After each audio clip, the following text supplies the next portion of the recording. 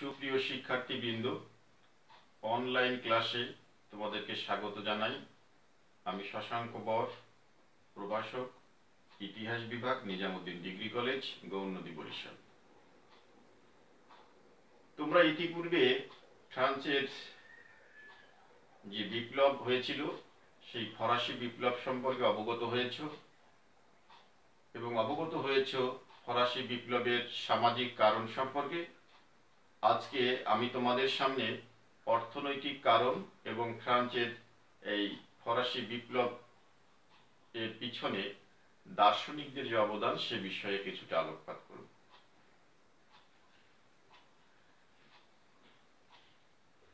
তোমরা জানো, ফরাসি বিপ্লবের পূর্বে ফ্রান্স শাসন করতেন রাজারা। এই রাজাদের বংশের নাম ছিল বুর্ব বংশ, বুর্ব রাজবংশ। এই পূর্ব রাজবংশে অনেক লুই মানে লুই পদবীর রাজারা ছিলেন। যেরকম ষোড়শ লুই, পঞ্চদশ লুই, চতুর্দশ লুই, এরকম লুই, একের পরে এক লুই, ষোড়শ লুই, চতুর্দশ লুই, পঞ্চদশ লুই। তারও আগে ছিল লুই। তো এই লুইদের শাসনে ফ্রান্সবাসী ছিল অতিষ্ঠ। এরা ছিল চরম স্বেচ্ছাচারী, স্বৈরাচারী। কীরকম? ফরাসি বিপ্লবের পূর্বে বা ফরাসি বিপ্লবের সময়ে ফ্রান্স রাজত্ব করতেন ষোড়শ লুই নামক এক রাজা। তার স্ত্রী নাম ছিল রানী মেরি আতোয়ানেত। এই আতোয়ানেতের বাড়ি ছিল অস্ট্রিয়ায়। সে অস্ট্রিয়ার হ্যাপসবার্গ পরিবারের সদস্য ছিলেন। এই মহিলা প্রথম দিকে ফ্রান্সে বেশ জনপ্রিয় ছিলেন। তার ব্যক্তিত্ব, তার রুচি, তার আভিজাত্য তারপরে শারীরিক সৌন্দর্য, এই সমস্ত বিষয় নিয়ে সে ফ্রান্সের জনগণের কাছে শ্রদ্ধার পাত্র ছিলেন। কিন্তু দিনে দিনে সে ক্রমান্বয়ে স্বেচ্ছাচারী হয়ে উঠলেন এবং জনগণের সুযোগ সুবিধাকে তোয়াক্কা না করে রাজপ্রাসাদে ভোগবিলাস বাড়িয়ে দিলেন। এতটাই অমিতব্যয়ী ছিলেন এই মহিলা। যে কোনো কোনো ঐতিহাসিক মন্তব্য করেছেন যে এই রানী যদি ফ্রান্সে না আসতেন তাহলে আর বিপ্লব হতো না। তো তোমরা বলতে পারো, তাহলে রানী কি কাজ করেছিলেন যে ঐতিহাসিকগণ এরকম বলতে পারলেন? আমরা ইতিহাস থেকে জানতে পেরেছি যে ফ্রান্সে যে রাজপ্রাসাদ ছিল, সেই রাজপ্রাসাদে আঠারো হাজার জন কর্মচারী কাজ করত। বুঝতে পারছ? আঠারো হাজার জন রাজ কর্মচারী রাজা রানী বা রাজ পরিবারের সেবায় নিয়োজিত ছিলেন। এদের ভিতরে আঠারো হাজার জনের ভিতরে ষোলো হাজার জন শুধু রাজা রানীর সেবায় নিয়োজিত ছিলেন। আর রানীর একার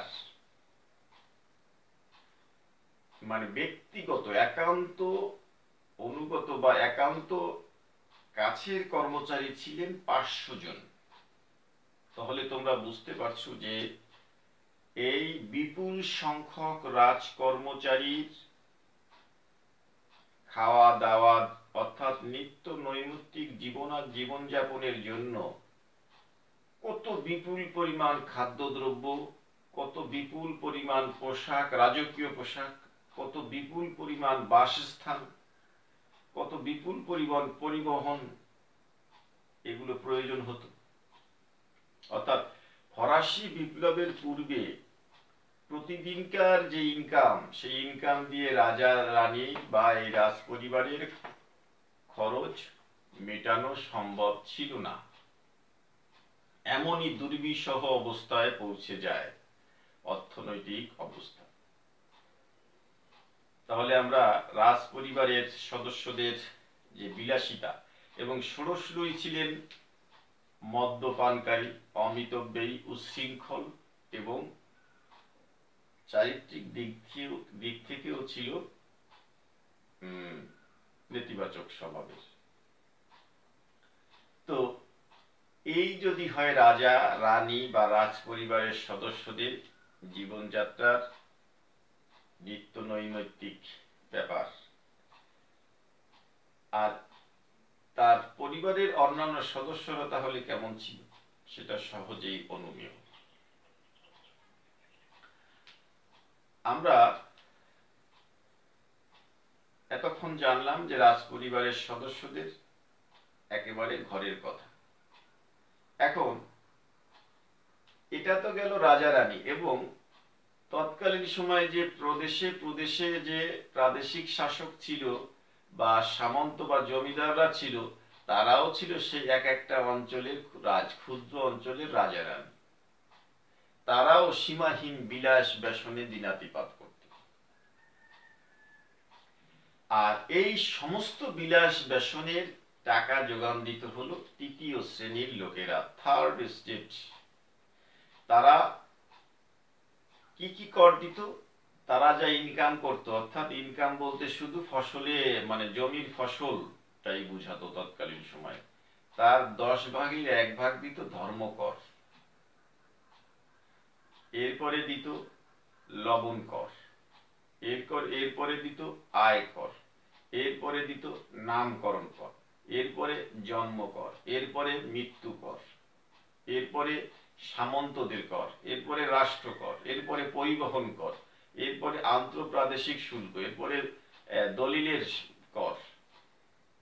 অর্থাৎ প্রতিটা পদক্ষেপে ফ্রান্সের জনগণকে তার মূল্য দিতে হতো, কর দিতে হতো। তো এরকম দেখা গেছে যে ফ্রান্সের তিন ভাগের এক ভাগ মানুষ শুধু তারা আলু খেয়ে জীবনযাপন করত। তাদের মাংস বা এক টুকরো পনির বা অন্য উন্নত খাদ্যদ্রব্য মুখে দেওয়ার সৌভাগ্য তাদের হতো না। এত নিষ্ঠুর, এত কষ্টকর জীবনযাপন করতে হতো ফ্রান্সের সাধারণ শ্রেণির লোক আর ওদিকে কোনো করই দিত না অভিজাত এবং যাজক শ্রেণির লোকেরা। এই হলো যে অর্থনৈতিক অবস্থা। আবার অন্যদিকে কি হলো?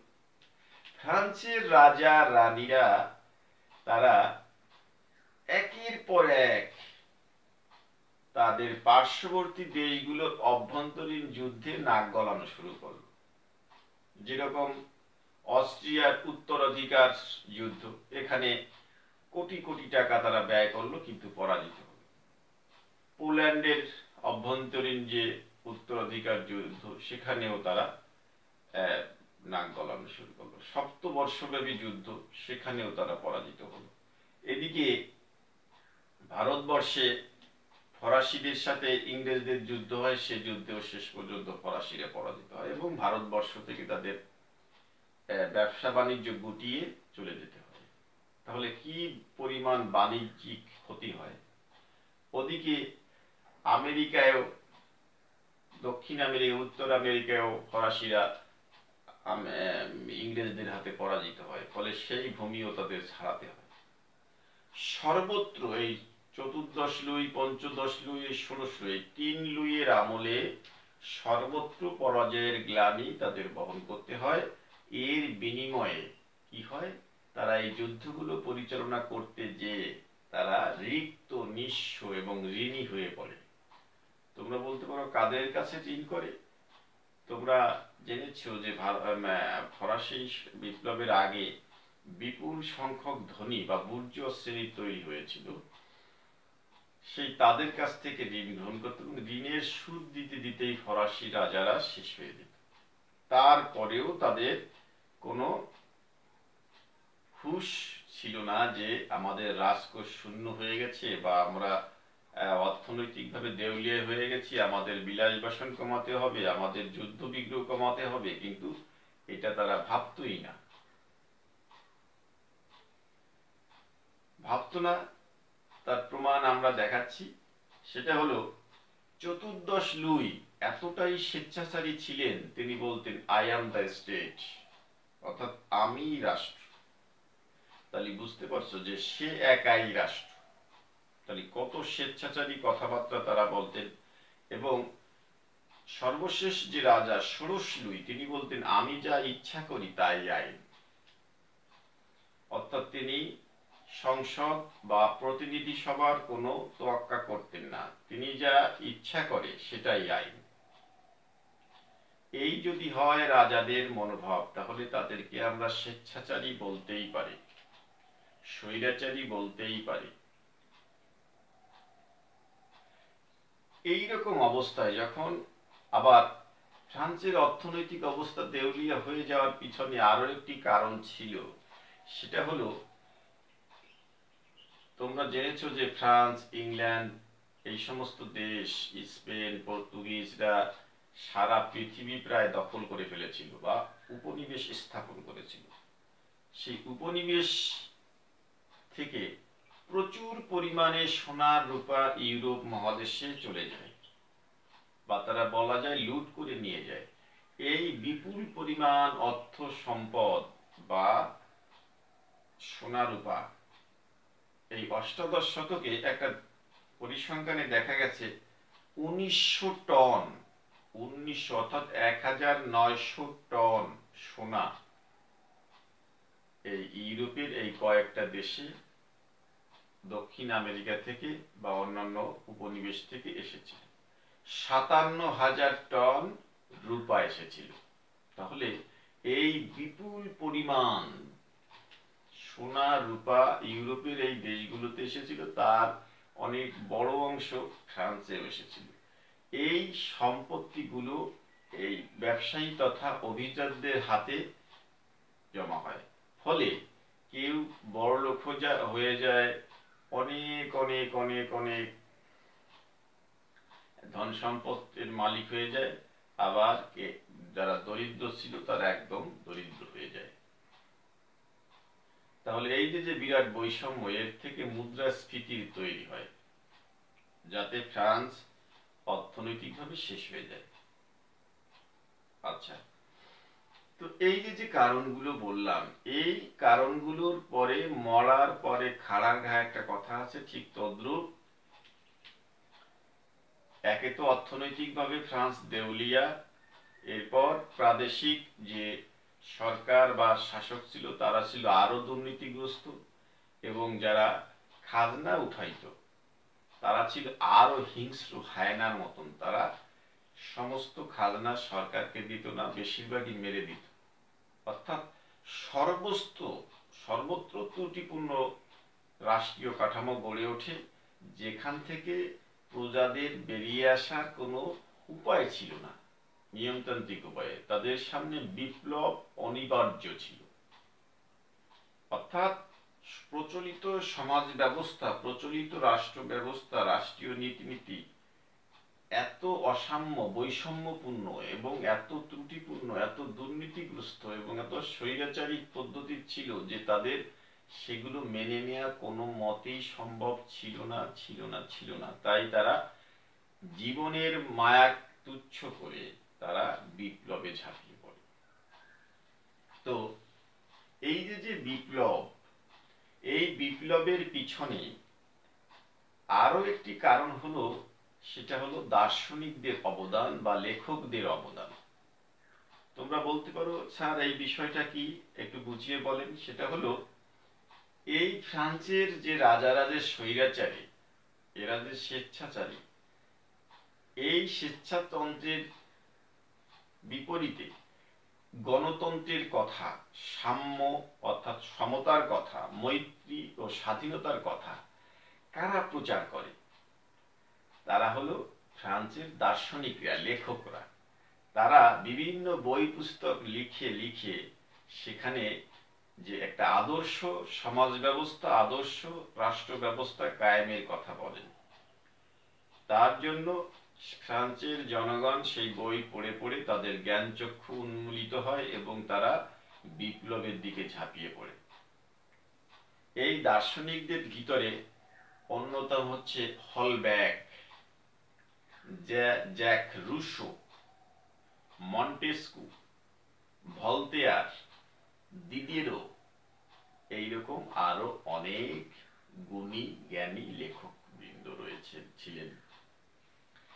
তার ভিতরে জ্যাক রুশোর একটি বইয়ের নাম আমরা তোমাদের সামনে উপস্থাপন করছি, সেটা হলো the social contact social contact সামাজিক চুক্তি। এই রুশোই সামাজিক চুক্তি মতবাদের প্রবক্তা। ইনি সেই গ্রন্থে লিখেছিলেন যে, সৃষ্টির প্রারম্ভে বা আদিম অবস্থায় বা পূর্বেকার সমাজে সবাই ছিল সমান, তাদের সমান সুযোগ সুবিধা ছিল। সে সময় সুখে, শান্তিতে বসবাস করত। পরবর্তীতে রাষ্ট্র কর্তৃক এই অন্যায়মূলক আইন তৈরি করে এদেরকে রুদ্ধ করা হয়। প্রগতি বন্ধ করে দেওয়া এরপরে মন্টেস্কু লেখেন, দ্য স্পিরিট অফ ল আর একটা বই লেখেন, দ্য পার্সিয়ান লেটার্স এগুলো খুব বিখ্যাত বই। এই বইগুলোতে ফ্রান্সের যে সমাজ ব্যবস্থা, সেই ত্রুটিগুলো পরোক্ষভাবে মানে নির্দেশ করা হয়। ফলে ফ্রান্সের বুদ্ধিজীবী বা ফ্রান্সের শিক্ষিত সমাজ এই বইগুলো পড়ে পড়ে পড়ে পড়ে বিপ্লবের মন্ত্রে দীক্ষিত হয়। এরপরে তৎকালীন সময়ে দিদেরও এবং অন্যান্যদের নেতৃত্বে কি হয়? বিশ্বকোষ সংকলিত হয়। এই বিশ্বকোষে তৎকালীন পৃথিবীর প্রায় সকল বিষয় সন্নিবেশিত হয়। ফলে জ্ঞান বিজ্ঞানের জগতে ফরাসিরা একটা অনন্য উচ্চতায় পৌঁছে যায়। তাহলে এই যে ফরাসি দার্শনিকরা, এরা কি করে? একটা মশালের তেল হিসেবে কাজ করে, সেখানে আগুনের ফুলকি যাওয়ার সাথে সাথে জ্বলি জ্বলে ওঠে। অর্থাৎ সাধারণ জনগণের হৃদয়ে বিপ্লবের বীজ রোপণ করে দেন এই ফরাসি দার্শনিকরা। তাহলে আমরা বুঝতে পারছি যে ফ্রান্সের যে ফরাসি বিপ্লব, সেটা কোনো একক কারণে বা একজনের দ্বারা সাধিত হয়নি বা সৃষ্টি হয়নি। এটা বহু লোকের দ্বারা বহু সময়ে আন্দোলনের ফসল এবং চিন্তা চেতনার ফসল এবং বহু বিষয় এখানে যুক্ত ছিল। সুপ্রিয় শিক্ষার্থী, আমরা আজকের ক্লাসে তাহলে কি শিখলাম? ফ্রান্সের যে ফরাসি বিপ্লব, সেটার পিছনে ছিল সামাজিক কারণ, অর্থনৈতিক কারণ, রাজাদের স্বেচ্ছাচারিতা, স্বৈরতারী স্বৈরচারিতা, রানীর অমিতব্যয়িতা এবং অভিজাত এবং যাজকদের পৃষ্ঠ অন্যায় অনমূলক পৃষ্ঠপোষকতা এরপরে ছিল। বিদেশ থেকে সোনার উপর ব্যাপক আগমন মানে আনয়ন। আরও কারণ ছিল দার্শনিকদের অবদান। অর্থাৎ দার্শনিকরা, লেখকরা বই লিখে লিখে লিখে লিখে, এই যে যে বিপ্লবের যে প্ল্যাটফর্ম তৈরি করেছিল, এটাও কিন্তু আমাদের ভুলে গেলে চলবে না। এই সমস্ত কারণে ফ্রান্সের এই বিপ্লব সাধিত হয়েছিল। এই বিপ্লবের মূল মন্ত্র ছিল সাম্য মৈত্রী স্বাধীনতা। আমরা আবারও একবার উচ্চারণ করি, বিপ্লবের মূল মন্ত্র ছিল সাম্য মৈত্রী স্বাধীনতা। তো আজকের ক্লাস আমরা এখানেই শেষ করছি। আগামী ক্লাসগুলো তোমরা নিয়মিতভাবে দেখবে এই প্রত্যাশা করে। সবাইকে আবার ধন্যবাদ জানিয়ে আমি আমার ক্লাস শেষ করছি। সবাই সুস্থ থাকো।